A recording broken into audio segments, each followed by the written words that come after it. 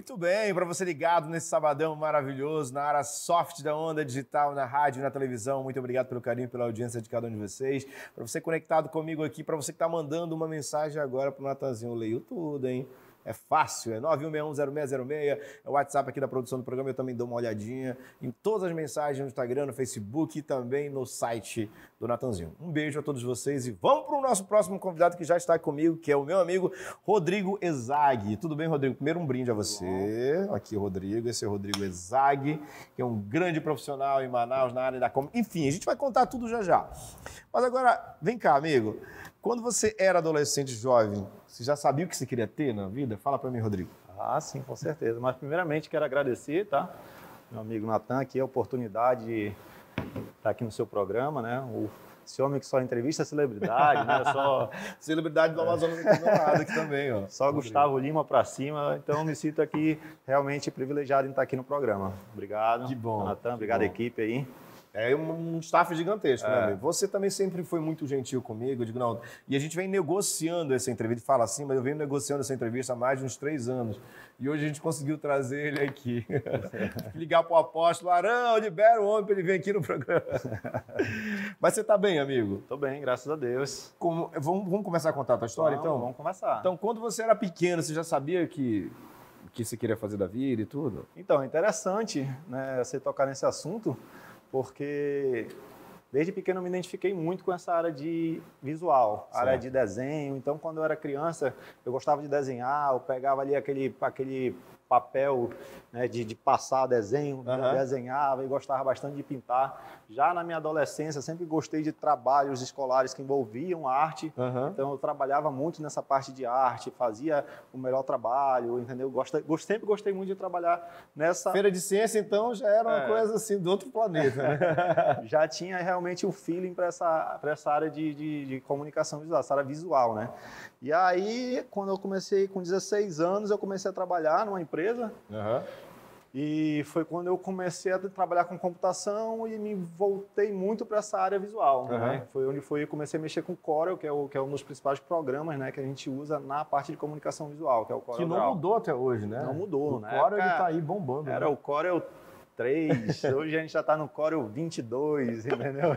Então já tem, já tem um já tem um tempinho aí. Agora, por que, que não muda, muda o programa? Porque o Core realmente é específico para as máquinas que vocês utilizam, Rodrigo? Não, não? na verdade, hoje em dia, para essa parte de, de, vetorização, de comunicação visual, de desenhos, hum. existe o, o, o, Corel e existe o, o Illustrator. Né? Ah. Né? Tem muita gente que trabalha com o Illustrator. Eu, particularmente, eu ainda sou da, do Core. O tá Core essa tem, paixão ainda, é, né? É. No Windows Na verdade, MS2. ainda tem muito Core. O, Você não sabe o que é o Windows MS2. A, a briga é grande.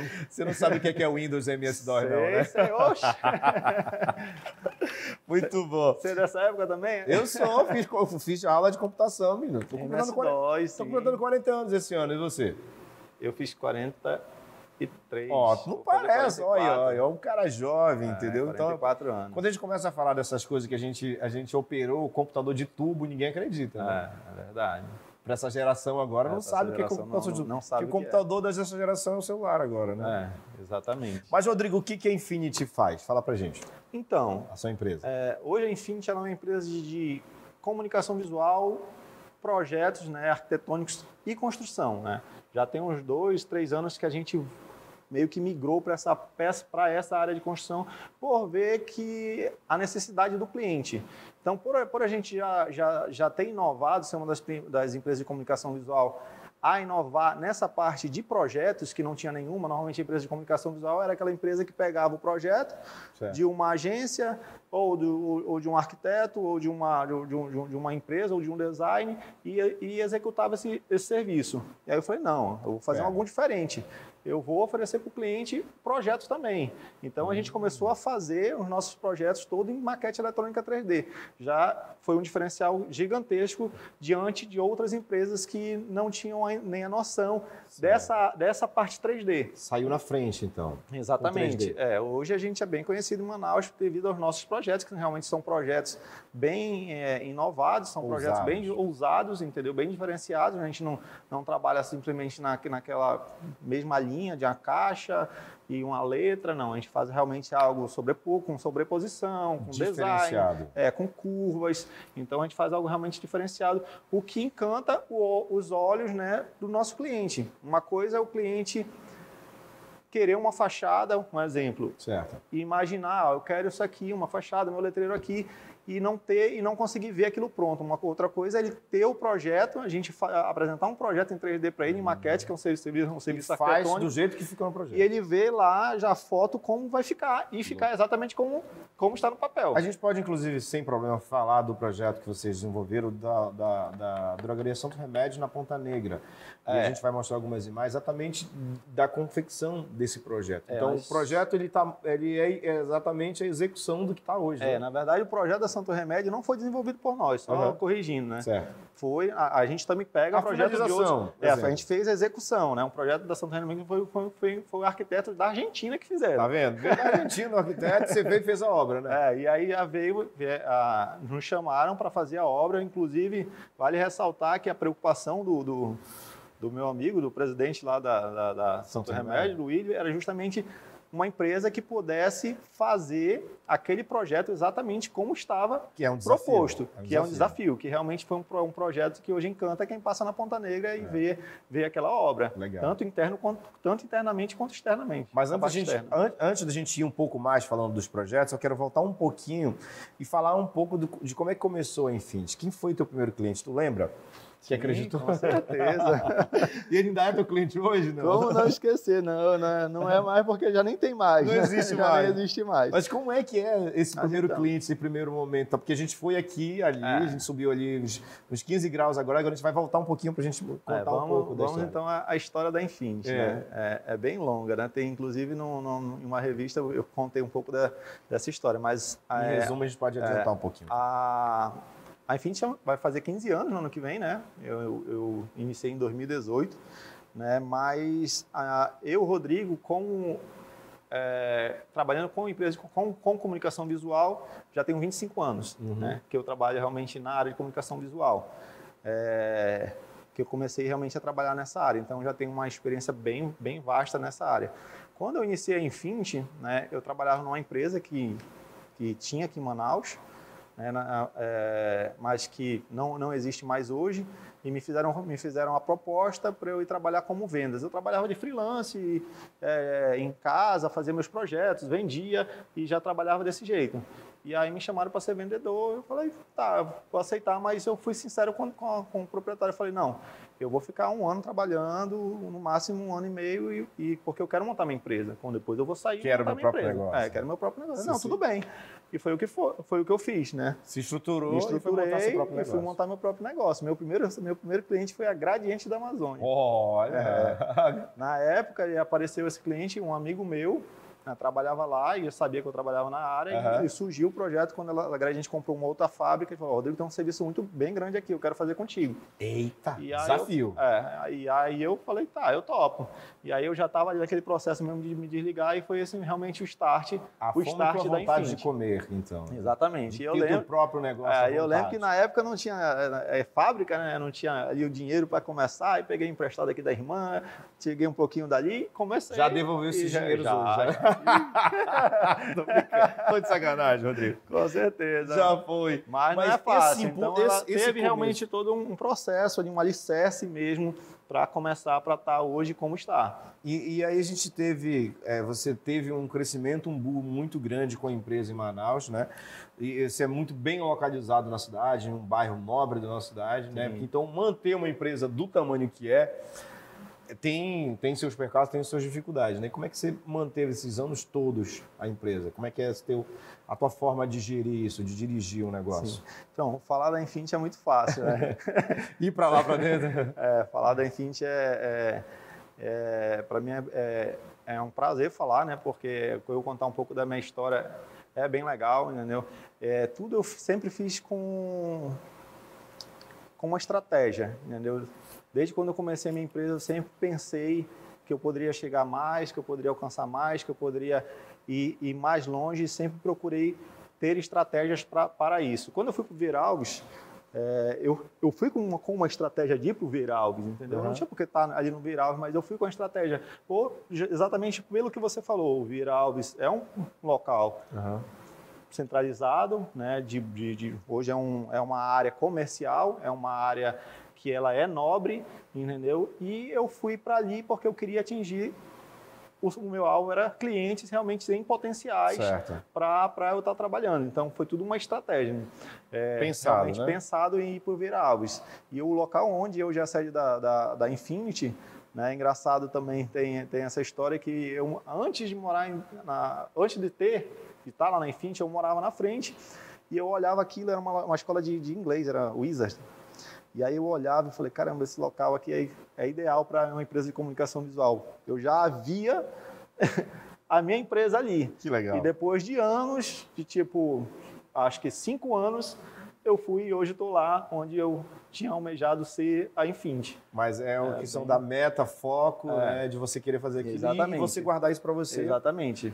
E não sair falando para todo mundo, cara, eu quero fazer Também, isso. E exato. guarda muito segredo, as suas coisas?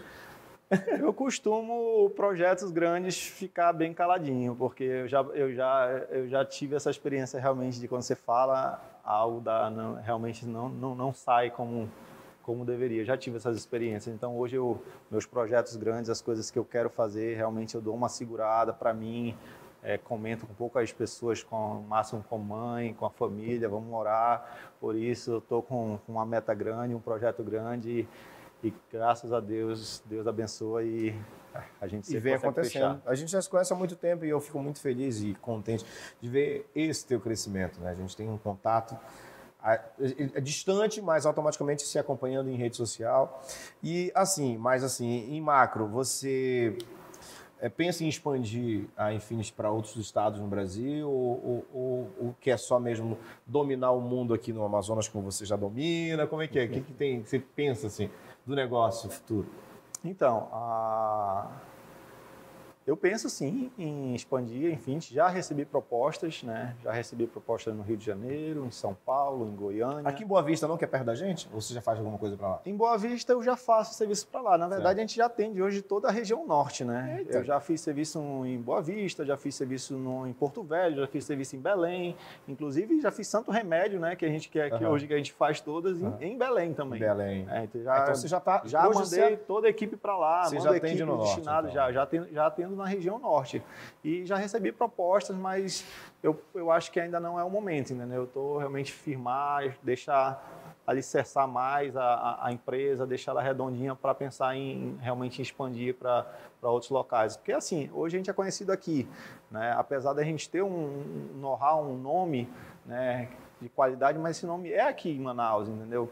E a empresa, empresa de comunicação visual tem em todo lugar, é, vou até usar a expressão arrodo, Aham. entendeu? Tem muitas empresas, né? mas que realmente, que as empresas que realmente ofere, ofereçam serviço de qualidade, que tenham todo o cuidado com o cliente, que tenham funcionários todos é, é, de carteira assinada, com ISO, ou com ISO, desculpa, com, com, com NR35, com tudo, é difícil. Então, é uma das coisas que a Infinity também tem de, de diferencial. Eu não terceirizo meus serviços, eu tenho minha equipe. Então, eu tenho uma equipe de adesivo, eu tenho uma equipe de, De de estrutura, eu tenho uma equipe de ACM. eu Tem seguro para tudo para trabalhar num shopping? Tem, etc. tem. Todos os funcionários com seguro, tem todo uma, Um protocolo. um protocolo Por isso que chega lá, ah, tá caro. Ah, meu amor, mas aqui você vai ter qualidade. Agora uma Exatamente. pergunta. Nesse período de hiato da nossa vida que foi essa pandemia, como é que você te- teve um start, você saiu demitindo pessoas, como é que você passou, está passando, já graças a Deus agora essa semana foi liberada as máscaras, a gente já está podendo ter mais contato com as pessoas. Então, graças a Deus a gente já consegue ver uma luz no fim do túnel. Ah, enfim, a gente parou, como é que foi esse período? Não, não parou. Graças a Deus, esse período foi um período até muito bom Ah, é, para a gente. é. As pessoas começaram a fazer obra? Não necessariamente, mas É. começaram a fazer muitas coisas relacionadas à Covid. Não sei se você Ah. lembra, no, no início da pandemia, aqueles face shields. Sim. Aquele face shield foi, uma, foi um projeto da UEA, junto com o governo do Amazonas. Eles Aquela começaram, máscara é, de- Ah. eles começaram a fazer aqueles face shields é, num processo que eles não estavam conseguindo produzir uma grande, grande quantidade e alguém que me conhecia me indicou para o pessoal da UEA. Legal. E aí eles entraram em contato comigo, eu tive uma reunião com eles e eu falei para eles que eu conseguiria fazer aqueles Face Shield num processo bem mais rápido e melhor. Legal. E aí foi engraçado, que era que era, era divulgação daquele Face Shields e aí eles queriam me ajuda, eu falei, tá, eu vou ajudar, eu vou doar. É, hoje eu posso falar disso, eu vou, é, eu vou doar é, eu vou fazer 10 mil face shields para vocês, né? Eles dão material eu ia produzir. Certo. Mas eu não quero meu nome, eu não quero o nome da Infinity, eu não quero nada. Uhum. Eu só quero ajudar. Olha que legal, é. amigo, que você fez é. isso. E aí nós fizemos isso. E aí, olha interessante, né? É uma palavra de Deus diz, né? Que você dá e sempre tem um retorno. Sim. Depois disso, em seguida, né, como ficou bem divulgado, a, um diretor da Honda viu e entrou em contato com a UEA querendo fazer também doar para a uhum. UEA os face shields. Aí, aí a UEA falou quem faz é, é Infinity. Aí, o, aí a Honda foi, fechou 30 mil, Eita. depois mais 30 mil, depois mais 40 mil face shields, 100 mil face shields. Graças a Deus, você doou 10 e ganhou 100 mil. Exatamente. Tá vendo, gente? É uma mão assim e outra assim, deixa de ser leso. Amigo, e você tem um filho lindo chamado Noah. E isso. o menino saiu em todos os jornais de Manaus. Como é que é isso? Você fez uma festa linda para ele antes da gente encerrar, eu quero falar do Noah. Fiz uma festa linda. Meu pai babão, né? É, oh, oh, oh. É, é, é tudo para mim. Então, meu filho nasceu né, em 2019, fez três anos agora. E aí veio o primeiro ano dele, foi início de pandemia, né? Ali, na, na verdade, não, foi no o, o, segundo ano dele, né? Foi... Ele nasceu literalmente não, no meio da pandemia. no meio da pandemia. Foi logo em seguida. Ele nasceu, no final do ano teve a pandemia. Não aí não deu para fazer nada. aniversário de um ano, uhum. não deu para fazer aniversário dois. de dois anos. E aí eu queria muito fazer o aniversário de três anos dele. Uhum. Muito mesmo. E aí, quando foi no começo do ano, aquele negócio de pandemia, de, de começar daquele vírus e tal, do Omicron, Deltacron e Metacron. Aí eu falei, meu Deus, não acredito que eu não vou conseguir fazer. E aí fiquei segurando. E aí, quando foi em fevereiro, assim, 10 dias antes, 10, 15 dias antes do aniversário dele, vi que não tinha nada de, de, de, de, de restrição, né, e tal. Falei, agora eu vou, agora eu faço. Então, eu fiz, assim, a festa dele praticamente, assim, de, de 15 a 10 dias. Eu fiz toda a festinha dele. Foi, graças a Deus, fez foi, foi muito bonito, né? Teve aí. Amou a, a festa, né? Lógico, a festa. Né? Foi a primeira festa dele, cara. É, exatamente. Com três anos de idade, vai ter história para contar é. assim. Por que, que eu não tive festa em primeiro ano? Um, dois, três. Mas eu aí fiz, a, a, de três fiz, anos já ficou. É, fiz uma estrutura, a gente pegou o salão, a gente envelopou o chão do salão todinho, quase. dá o quê? Quase uns 400 metros. Não faltou lona, Nelson, nessa, nesse lona. aniversário. Nem lona. adesivo. gente, eu conversei com o Rodrigo Ezag, esse mega empresário de Manaus que transformou um real em um milhão. Opa. Tá vendo? É ele. Obrigado, amigo. Tamo Obrigado, muito junto. Seja sempre bem-vindo aqui à nossa casa. É muito bom conhecer tua história, conhecer um pouco mais sobre tudo isso da sua vida, tá bom? Obrigado, hein? Obrigado Tamo junto. você. Ó, intervalo comercial já já tem mais Show pra vocês. Música